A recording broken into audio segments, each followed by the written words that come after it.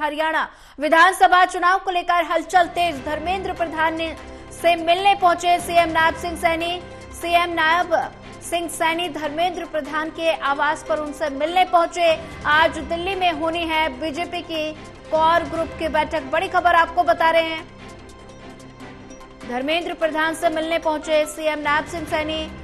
हरियाणा विधानसभा चुनाव को लेकर हलचल तेज होते नज़र आ रही है। धर्मेंद्र प्रधान से मिलने पहुँचे सीएम नाब सिंह सैनी।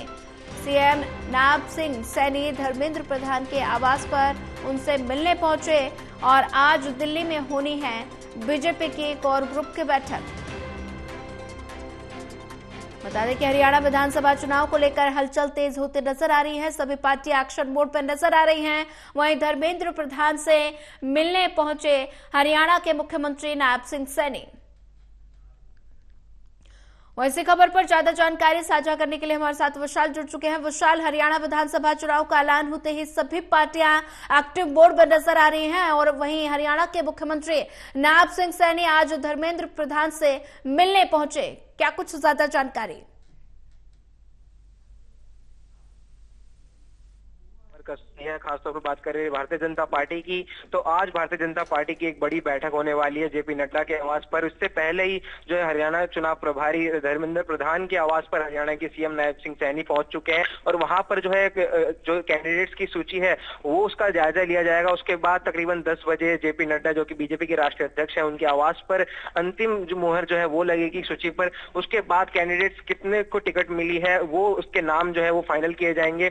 और मीडिया में सामने आएँगे। और सत, जो बता दें आपको नब्बे विधानसभा सीटों पर जो चुनाव होने हैं इस पर भारतीय जनता पार्टी ने पूरी तरह से अपनी कमर कस ली है और लगातार जमीनी स्तर पर जो है भारतीय जनता पार्टी चुनावी रैलियाँ कर रही है जनसभाएँ हो रही है। इसी के मद्देनजर आज की जो बड़ी बैठक है काफ़ी अहम होने वाली है क्योंकि आज सभी उम्मीदवारों के नाम सामने आ सकते हैं।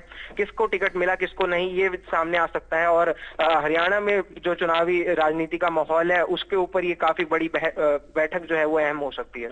जी, विशाल सिंह अगर बात की जाए, आज दिल्ली में कोर ग्रुप की बैठक होनी है भारतीय जनता पार्टी की। उससे पहले हरियाणा के मुख्यमंत्री नायब सिंह सैनी का धर्मेंद्र प्रधान से मिलना कितना अहम?